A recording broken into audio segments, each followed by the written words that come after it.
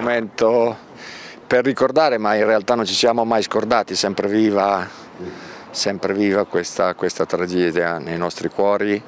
Eh, ancora a un mese non riusciamo ancora a mm, renderci conto profondamente di quello che è successo e quindi questo credo che sia la cosa più, più importante che possiamo fare a un mese, quello di dedicare un momento tutti insieme al loro ricordo, è un ricordo fervido, vivo e, e ripeto che ci ha toccato profondamente. L'olivo nella tradizione giudaico-cristiana è il simbolo dell'eternità e la loro memoria rimarrà in eterno in questi olivi e in tutti noi.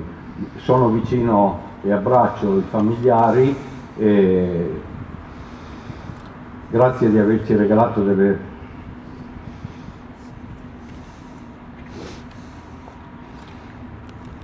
persone stupende.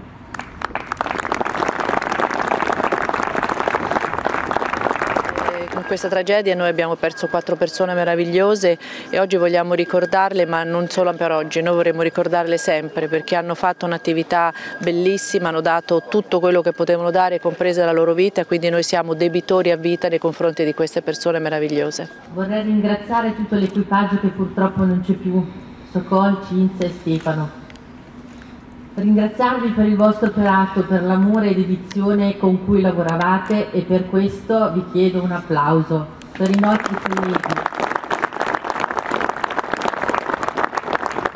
Il nostro lavoro mette sempre a rischio la nostra incolumità, nonostante le attenzioni e la nostra professionalità. Purtroppo in questo tragico evento ha perso la vita anche il paziente Ser Filippi, a cui ci stringiamo nel dolore dei familiari. Colgo l'occasione per richiamare l'attenzione delle autorità qui presenti per far sì che possano lavorare per garantirci la massima sicurezza. Per, per sempre, sempre nel cuore 1408 chiude il servizio.